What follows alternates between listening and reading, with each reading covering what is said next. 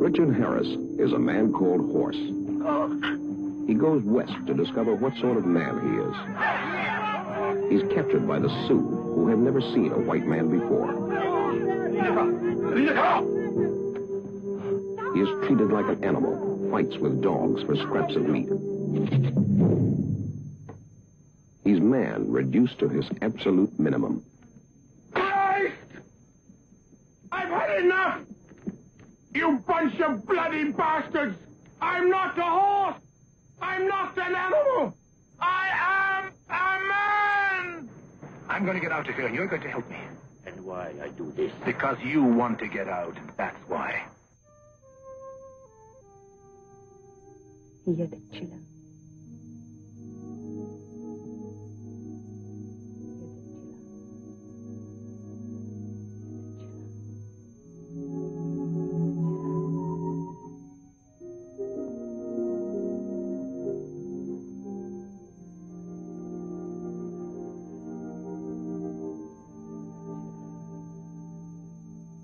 When you first brought me here, you said I was a horse, an animal.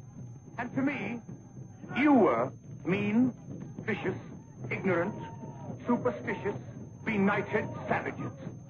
And when you fight your enemies and their arrows pierce your skins, you bleed like all men.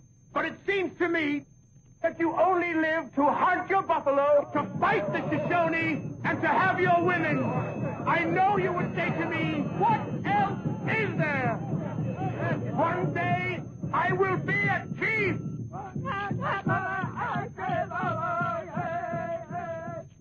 A man called Horse. To finally become an Indian warrior, he must perform the sun vow ceremony. Perhaps the most electrifying ritual ever seen.